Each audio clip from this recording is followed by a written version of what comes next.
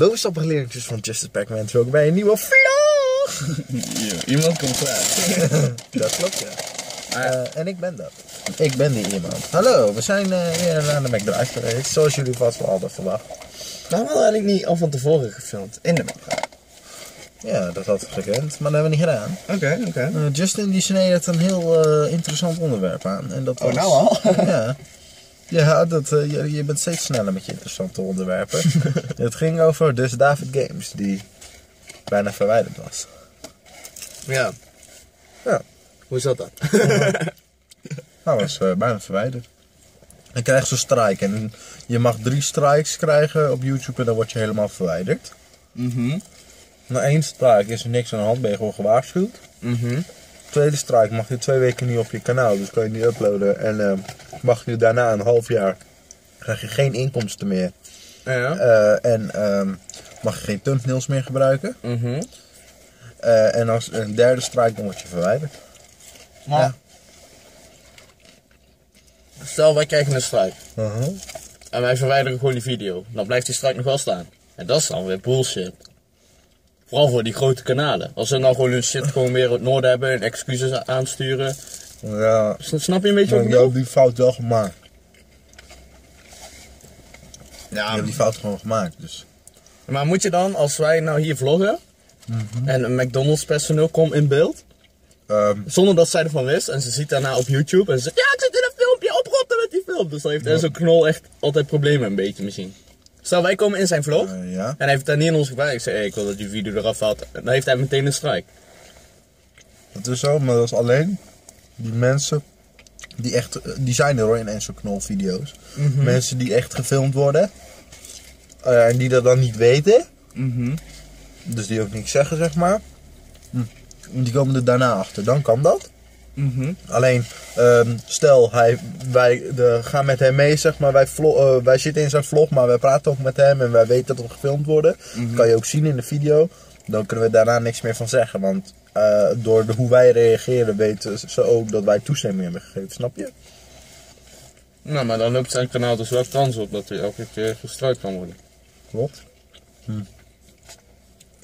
Maar dan moet je, ja, heel veel mensen die. Uh, gefilmd worden, maar uh, die dat dus niet willen, die hebben het niet eens in de gaten, zeg maar, snap je? En weten ook niet hoe dat moet, hoe je iemand moet strijken en zo.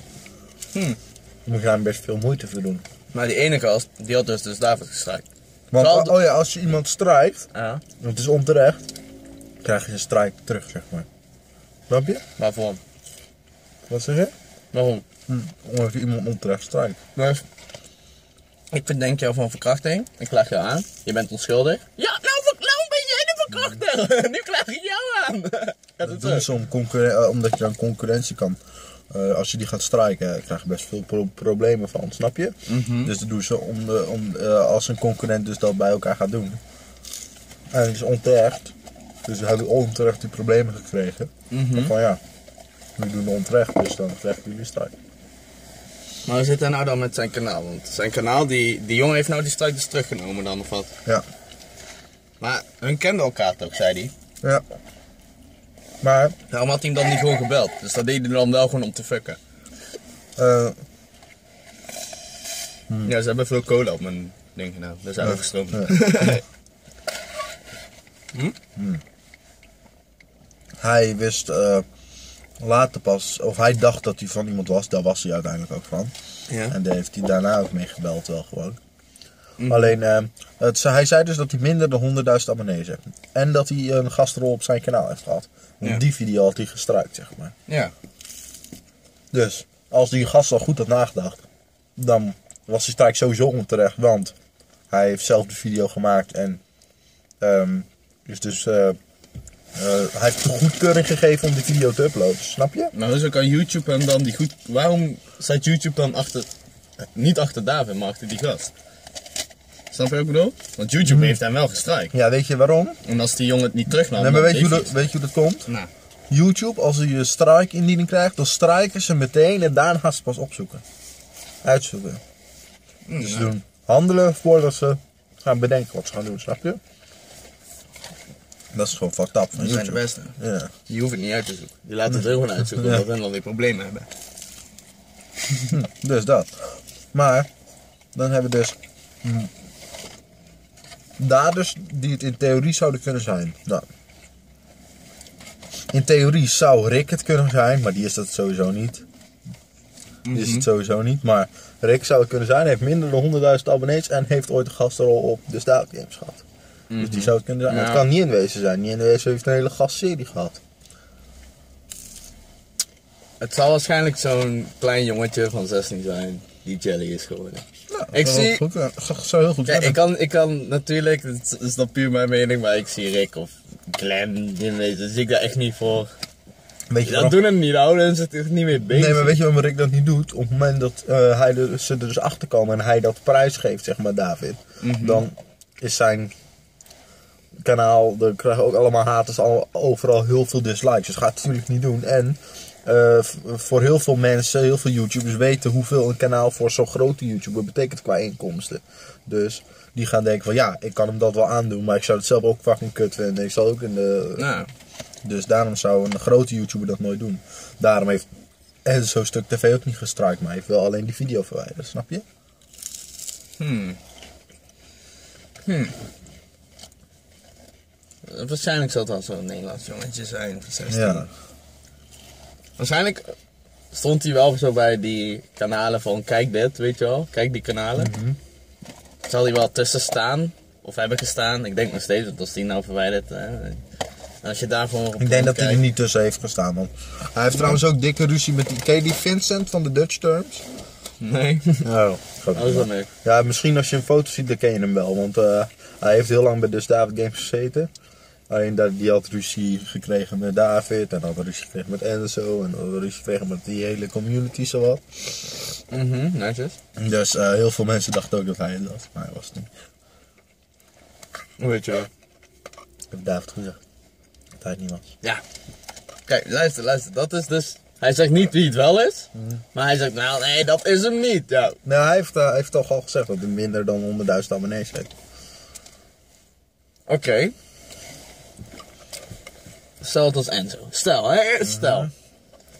En hij wil gewoon niet zeggen wie het is, omdat hij weet dat het ook fucked up is voor hem. Of zo, weet je wel? Omdat David zich niet wil verlagen naar dat niveau. Dan Ja, maar- zegt hij toch juist dingen om mensen Ja. op de verkeerde pad te brengen. Tuurlijk, maar David, eh, als iemand zoiets jou aandoet en je weet dat hij een groot YouTube-kanaal heeft dat, waar hij zijn inkomsten ook mee verdient, dus dan zou je hem toch terugpakken. Dus zou ja, dan Enzo, ga Enzo maar kloten. Ja, niet iedereen. Jij zou het ook doen. Nee. En zeker David, want dat is gewoon zo'n arrogant. eh, Oh, fuck. En ook al een keer een strijk gekregen? Waarom we krijgen ook geen strike, zijn we veel te onbekend voor. Alleen als wij Niels zouden filmen en Niels zou dat allemaal kunnen regelen, dan zouden wij een strike kunnen krijgen. Nou, we doen het echt bijvoorbeeld PewDiePie of zo. Echt een van de grootste. Of nee, uh, Smash of zo.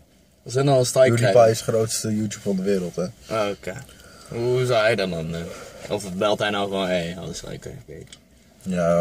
Als hij striker. Hij is de grootste van de wereld, dus hij zal alle macht ook hebben, snap je? YouTube, voor, voor het bedrijf YouTube is Enzo niks, snap je? Alleen PewDiePie is de grootste van de wereld, dus die willen ze te vriend houden.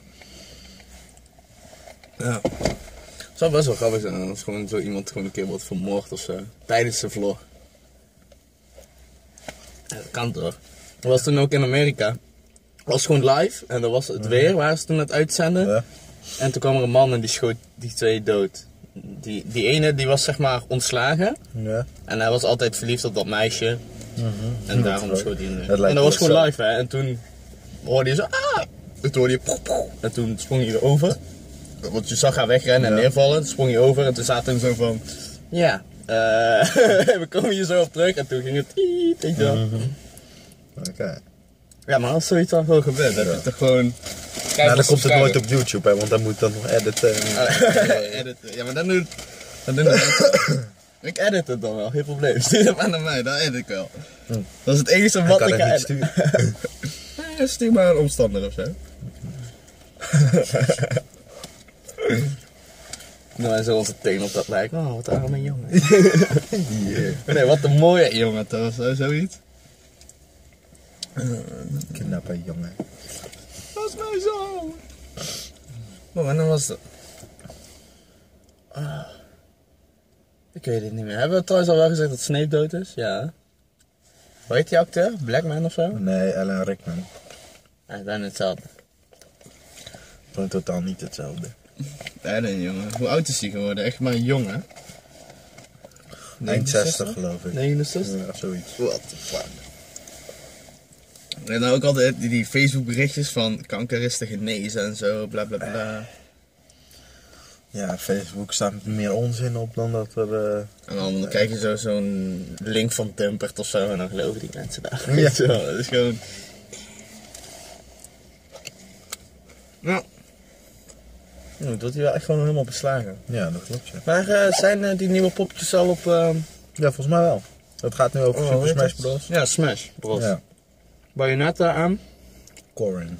Want ik zag het niet inwezen, namelijk iets posten op Twitter dat die Corin aan het spelen was.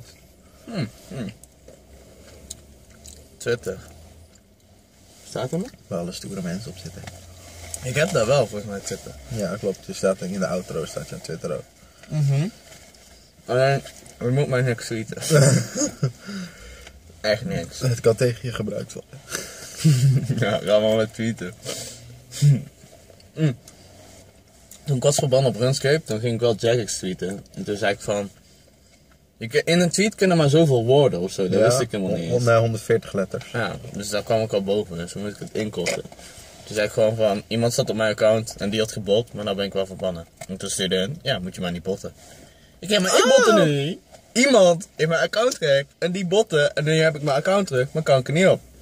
Nou, dat is niet mijn probleem. Oké, oké. Lekker, hè? Ja. Ja, fuck Moet dat. je nagaan dat toen ik, toen was ik 16, nou ben ik 19, ben ik 20.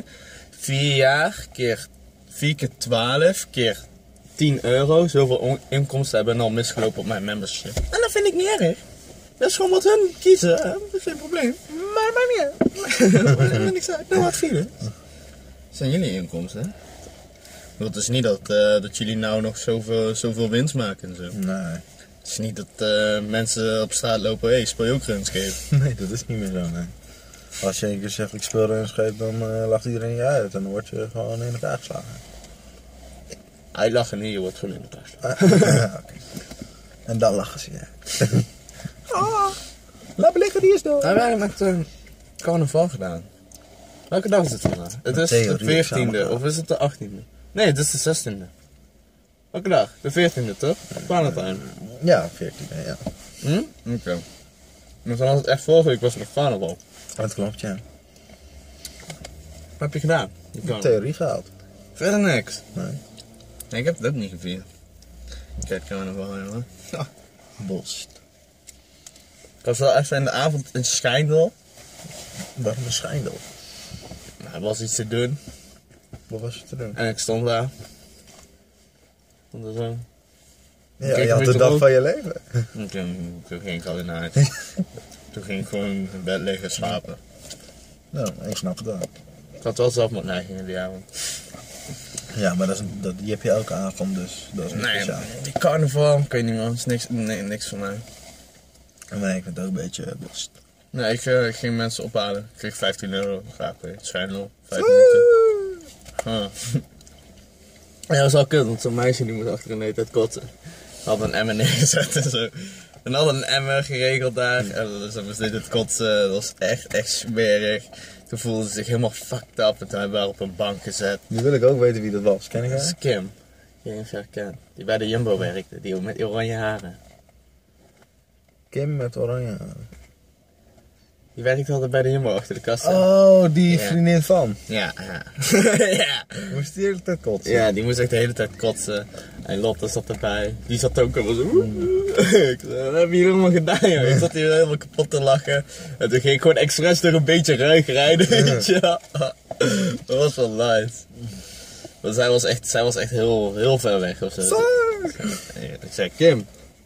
Nee, ik zei van, wil je eten? Kim, wil je eten? Ja. ja. Kim, wil je douchen? Ja. Kim, wil je slapen? Ja. Ik zei, seks snap alles ja. Kim, wil je seks? Nee. Oké, oké, ze is bij. Heel snel wel. Anders had ik er even... eh, Ik denk dat eh Dennis er ook bij zat, dus dat had je dat niet gedaan. Oh, ja. Oh, hij moet overleven. Ja, hij moet overleven. Het is op beeld, je kan niet meer terug.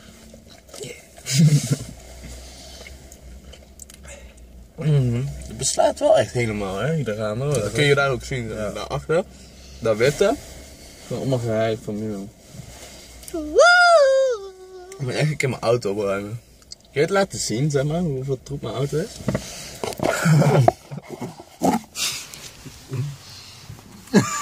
Yeah, wat? Nee, Ben je daar trots op trouwens? Je wilde dat ik laat zien hoe... eh, nee, nee, maar die aardappelen die moest ik nog halen. Ja, dat klopt. Dat zei meneer Jan net. Ja. Dus die zijn van meneer Jan. Wel mooie eh, keuken trouwens. En, ja, we hebben, en we hebben ook een nieuwe muur. Ja, Die een beetje denken aan de krokante krab. Zo helemaal hout. Nee, ik vond het wel mooi. Ik weet niet. Ik dacht, je moest denken aan de krijzende krot. Van Harry Potter. Ik ben trouwens eh, al die, ik ben nu aan de luisterboeken begonnen. Hè? Ik ben nu bij deel 3. Nou pas. Nou, pas bij deel 3. Die eh, luisterboeken duren 10 uur per. Hè? Ja, die duren best lang, ja. Er is wel iets meer verteld of zo over deel? Heel veel, echt in elke boek heel veel. Echt, als jij dat allemaal zou moeten onthouden, zou dat niet eens lukken. Jij kan de film al niet eens onthouden, laat staan de boeken. Maar hoe is dan de basilisk in dat kasteel gekomen? Was het toen nog een klein basiliskje? Was het een grote basilisk? Er, zal er een kennis die zomaar even een basilisk te koop had, die die kocht? Ja, hoe zat dat ook alweer? Dat, eh, misschien hebben ze dat wel verteld. Nou, nee, ik kom hier dat gewoon met de vragen, hè? Ja, nee, dat was, dat, maar dat zijn wel van die dingen, dat zou best verteld kunnen zijn. Heb je misschien nog een vraag van de eerste drie eh, films, dat je denkt van, hm, waar is het pluisje? dat hebben ze niet verteld. Ah, je weet het nou dus gewoon, man. Nee, ik wil- weet het niet. Volgens mij hebben ze En hoe dat is Zwart nou echt precies on- ontsnapt uit de Azkaban? gedaan. Dat hebben ze wel verteld. Oké, vertel. Nou, eh, hij, eh, eh, niemand wist, want die faunaten, dat zijn die mensen die in dieren kunnen veranderen. hè. Dan moet je normaal moet je dat zeg maar aangeven bij het ministerie van Toverkunst, want dan hebben ze gewoon een, ja, gewoon een papier waar ze het op zetten van. Wie welk dier kan worden. Zo. Ja, en er zijn maar de- deze eeuw waren er maar zeven mensen die faunaat konden worden. Echt Zo zeldzaam man? Ja, dus waar een, ver- eh, een veranderling er één van was, weet je wel, die kon in een kat veranderen. De- maar eh Lupos, dat is dan geen vanuit, dat is een weerwolf. Dat is een weerwolf, dat was ook bekend. Maar die worden ook genoteerd dan? Nee, die worden niet genoemd. Oh nee, dat maakt niet uit. Als, als je vriend opeens gered wordt door de volle maan en iedereen afslaat. Oh, dat maakt niet uit. Nee, dat maakt niet uit. Nee, dat, is- dat, dat, dat in ieder geval niet. Maar eh, da- daar ging het dus wel een beetje om. Want eh, toen ze nog op school zaten, weet je wel, James en eh, Sirius en Remus, dat is En Lupus. Voldemort. Nee, die zat toen nog niet op school, die, dat was daarvoor. Ah, oké, ja. Maar wat er dus, dus gebeurde, eh, eh, Lupus die werd dus elke keer een weerwolf en die werd dus de hele tijd het eh, kasteel uitgesmokkeld naar het kruisje de krot. Waarom? Waarom? Omdat als hij in, eh, een eh, weerwolf veranderde, dan ging hij al de leerlingen opeten. Maar Perky weet dat toch gewoon Ja, niet? Perky, Perky, Perky wist dat. En dat vond hij niet erg. Nee, want Perky heeft er juist voor gezorgd dat hij naar Zwijnstein mocht. Anders had het nooit gemogen. Maar Oh, ja, voor, ja. van Perky mocht dat. Ja. Dus daar, dat had, daar had hij dan geluk mee. En hij werd elke maand werd hij met volle maan naar het kruisende krot gebracht. Die beukwilg, die was er nog helemaal niet. Eh, er was één gang naar het kruisende krot. Mhm. Maar die beukwilg werd erop gepla- eh, daar geplaatst zodat niemand dat zou vinden. Ja. Dus er zit ook een knop op de beukwilg. Als je die indrukt, dan gaat hij stilstaan en dan kan je er doorheen. Mhm, Dat zie je in de film ook niet. Maar eh, de, die vrienden van hem, dus James en Sirius, die kwamen daar dus achter. Lily. Ja, Lily ook, maar zijn vrienden vooral. Die kwamen daar dus achter en die zagen dat van, yo, eh, waarom ga je elke, word je elke keer weg? Waarom ben je elke maand een paar dagen weg? Dus ze hadden hem gevolgd, toen hadden ze dat gezien. Dus kwamen ze daarachter en zeiden ze, nou, we willen je niet alleen laten leiden, want weerwolven doen dieren niks aan. Dus wij gaan proberen een fauna te worden. Dat was geen heel moeilijk te zijn, daarom moest je dat ook altijd aangeven bij het ministerie van Toverkunst. Hadden hun dus niet gedaan. Dus je wordt er niet mee geboren. Nee, je wordt er niet mee geboren. Dat is een, eh, je moet die dan zelf een spreuk of een drank of zo drinken. Oké. En eh, alleen hun zijn dus illegale faunaten. Waar dus het ministerie niet van af weet. Alleen Sirius is van hen vanuit geworden. Nee, want eh, de vader van Harry ook. Alleen het is nog niet, eh, waar ik nu ben is nog niet verteld wat voor dier hij was. What the fuck? Hoe is de vader van Harry is, Gaffel, dat is helemaal nooit gezegd. maanling, Wormstaart, Sluipvoet en Gaffel. Wormstaart was een rat. Peter Pippeling was dus ook een faunaat. Ja, ja. Ja, eh, worm- eh, of, heet het, Sluipvoet, dat was die hond. Dat is Sirius Zwart. Ja. En Gaffel, dat is dan ook een dier waar, dat is nog niet verteld.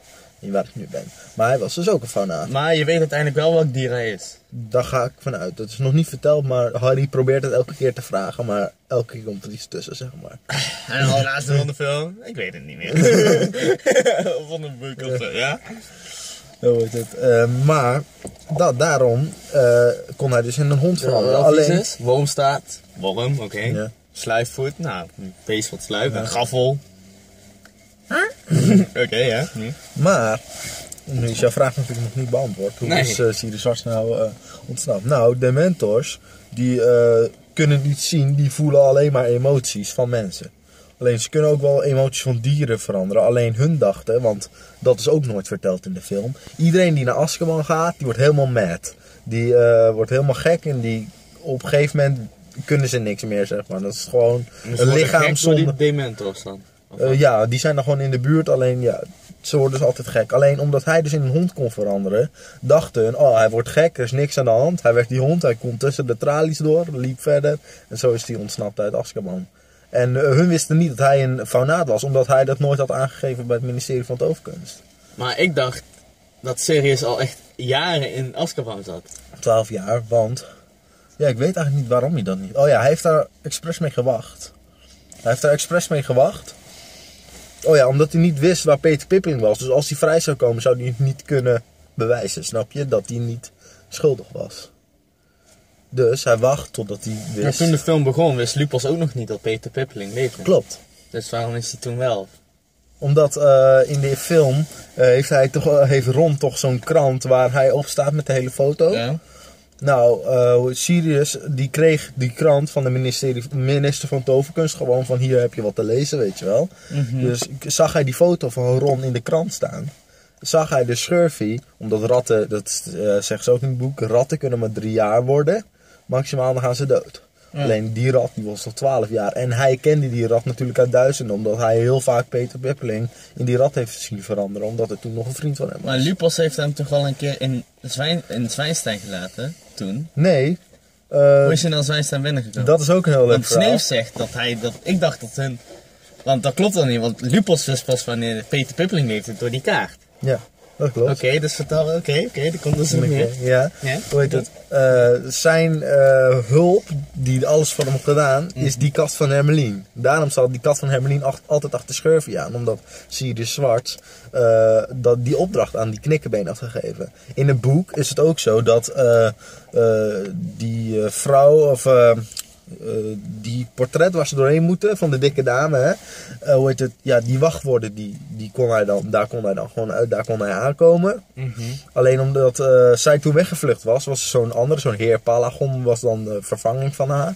En toen waren elke, om de dag was er elke keer een ander wachtwoord. En Marcel Lubbermans, die kon dat niet onthouden. Dus die had opgeschreven op een briefje op zijn nachtkastje gelegd. Knikkerbeen had hij gejat. Had, ge, eh, hoe heet het, had meegenomen naar eh, Sirius. En Sirius had met die wachtwoorden kon gewoon de leerlingkamer in. Maar Knikkerbeen is geen fanaat. Nee, Knikkerbeen is gewoon een kat. Alleen omdat hij een hond was, kon hij communiceren met, dat- met die kat. Oh. Woef woef, miauw, miauw. Een soort van. Miauw, miauw, miauw, miauw, miauw. Woef, woef, woef, woef. Miauw, woef, woef. Zo, ja. Oké. Maar Nog meer op die foto van de krant stond dus Ron met zijn rat. Ja. En hij herkende gewoon dat zo'n Dat- schurfje er ook uitzag. Ja, Peter Pippeling. Omdat eh, die rat die zag er al 12 jaar oud uit. Terwijl dat helemaal niet kan, snap je? Maar hoe het stond er dan ook in, hé, dit is de rat van Ron en die is al 12 jaar. Nee, hij zei van, hoe heet het, eh, hoe heet het eh, dat Ron naar Zwijnstein zou gaan. En toen wist hij, oh, ik moet naar Zwijnstein toe. Snap je? Er stond, eh, eh, ja, nou, dat, eh, er stond in die krant Ja. van Ron, of eh, de jongste zoon, die gaat vervolgens een studie op Zwijnstein weer naar deze vakantie, zeg maar. Ja. Dat stond in de krant, dus toen wist hij van, hé, hey, daar moet ik naartoe, want daar is Schurfie. Ja, maar hij herkende Schurfie door zijn leeftijd ook. Maar hoe, hoe dat dan? Want hij wist toch niet dat hij die rat al 12 jaar had dan? Als hij in. Jawel, maar die, eh, die ra- rat, die herkende hij gewoon omdat het Peter Wipping was. Ja. En omdat hij er zo verkrekt uitzag, zag omdat hij al 12 jaar uit- oud is. Oké. Ja, ja, oké, oké. Huh. Maar de vader van Harry was dus... Maar dat groepje, was dat niet groter dan? Ze waren met z'n vieren. Oh ja, nou, van één was een weerwolf en dan... De andere drie waren granaten. Ja, oké. Maar het is wel raar dat er niet zomaar wordt uitgelegd, zeg maar. Nee, als je alleen de film kijkt, dan denk je echt van... Ja, dan denk je, what the fuck, hebben ze eigenlijk Ja. dan nog niet zo heel goed gedaan dan. Hmm. Want dat zijn juist van die vette dingen. Ja, maar al, al dat soort dingen worden zo breed uitgelegd. Mhm. Dat je echt een heel hoofdstuk, dus echt een uur, naar iets zit te luisteren wat in de film vijf minuten duurt. Nou, of nog niet eens voorkomt. Want eh, ik wist niet eens dat je ervoor kon kiezen om vanouds te worden. Ik dacht dat je daarmee geboren werd. Nee, wat je Maar nee, niet dat werd trouwens wel gezegd. Weerwolf kun je niet kiezen, fanaat wel. Dat Ja. zeiden ze. Maar als dat zo zeldzaam is, Mhm. dan kun je dat ook niet echt kiezen, vind ik. Hetzelfde als, ja, je kunt kiezen om de beste voetballer van de wereld te worden door Ja. elke dag voetballen. Nou, ja en nee, want dan nog is... Hun hebben ervoor gekozen zichzelf te laten betoveren. Ja, maar het is toch super moeilijk om dat Ja, te doen. dat dus, Maar we het waren de beste leerlingen van school. Hè? Nee, dat was helemaal niet moeder. Nee, want Nee, dat- en daar dat weet die vriendin van, en naar de oom, en die hond kon met die kat praten. En die kat had een één baasje. En dat was de beste leer. dat was de beste leer. Gegarandeerd, maar ja, kijken. Ik eh, denk dat we deze Er zit vlog- gewoon een vieze fan langs dan. Zit de hele tijd Nee. te kijken. Ja, ik zie hij heeft het gewoon niet door. Hè. ik heb hier zo even gepost. En dan kun je ook wel even kijken. Ik wil je bedanken voor het kijken van deze aflevering. Ik niet. Nee, niet? Nee, we moeten ons bedanken dat wij die video's maken. Gaan we weer. Nee, maar het, heeft, het is een beetje een twee, tweestrijd, zeg maar. Het is, het is een beetje een tweestrijd. Oh, eh, eh, ehm, wie, wie zei er wat? Ik moet nog één dingetje vertellen. Je kunt toch ook, op, op voetbal kun je gokken, weet je wel, betten. Ja, ja. En dan heb je een soort toto, maar dan is dat... Unibet of zo. Ja, Unibet. Ja. En dat was... Gisteren was er een hele gunstige Unibet of zo. Zo'n jongen heeft 10 euro ingezet en die had echt best makkelijke wedstrijden. En als hij won, kreeg hij 240 euro. PSG, die heeft gewonnen toch? Ja, dat zou best kunnen. weet ik. Hij had PSG die wint, Real Madrid die wint. Barcelona die wint. En de enige die echt moeilijk was, was Roda Twente. Want ja, dat kan altijd, dat weet je niet. En die had hij dan overgeslagen. Ja. Want dat kon. Dus Ja, waarschijnlijk pakt hij gewoon 200 euro. En als hij een tientje verliest, nou, is is niet erg. Want als ik win, heb ik voor 21 weken genoeg om te wedden. Ja. Soms denk ik van, dat moet ik ook wel een keer in de gaten houden. Want soms, ja, het zijn er wel gunstige dingen. En als je dan 10 euro inzet. Of stel je zet op de ene 10 euro in en je bet nog een keer en je wisselt er dan iets om en je zet weer 10 euro in. Dan verlies je er één. De andere win je en dan maak je alsnog winst. Als je gisteren, want eh, op sommige sites kan je ook voor eh, uit, op uitslagen wedden, weet je wel. Als de Ja, uitslag is helemaal goed moeilijk. Ja, maar als je gisteren het goede uitslag had bij AZ, dan had je sowieso 1000 euro gewonnen. 3-6. Wat was het geworden? Ik denk dat niemand dat heeft. Nee. Maar als je dat goed hebt. Money! money, money. Dat is goed. Nou, Milan wil jullie graag bedanken voor het kijken. Nee, hij niet. Hij, Dus, hij mag eh, jullie niet. Pijp het maar even, kom. Eh, laten we dat maar niet doen. Bedankt voor het kijken van deze Nee, aflevering. dat heb je nou gezegd, hè? Dan moet je daar ook niet eens vragen aan mij of ik je wil hebben, hè? Als de camera uit, hè? Je hebt nou gezegd dat het niet hoeft. Ik hoef het niet te vragen dan. Het staat vast. Het staat vast dat je het gaat doen.